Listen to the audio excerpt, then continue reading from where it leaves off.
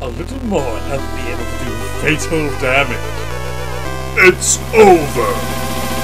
What?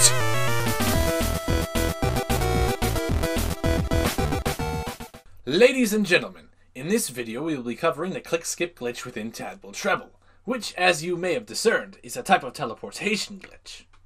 Tadpole Treble is a rhythm game, where adventure awaits on a musical score. Dodging hostile creatures and notes in the way, it's only natural that a glitch that can teleport you past danger is quite game breaking.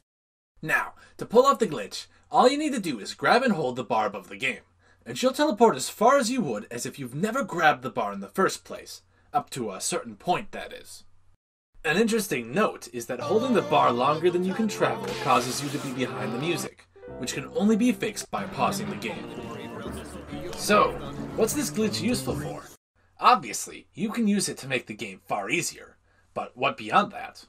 In terms of speedrunning, it would appear as if this glitch isn't very useful. Since you teleport as much as you would have traveled without the glitch, there's no way to use this to get ahead of the music, meaning this glitch would be pointless for faster times. However, in the 100% category, it could prove useful to employ this glitch against the secret boss, as its difficulty can be greatly reduced using this glitch. No, it's in terms of leaderboards where this glitch gets bizarre. In Tadpole Treble, there were two leaderboards you can compete for the highest score and the lowest one.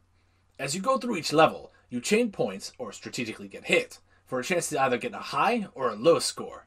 This glitch can help achieve lower scores, as with a well timed click skip, the note isn't counted. It's not viewed as a hit, as the score keeps climbing normally. It's as if this click skip erases the note from existence.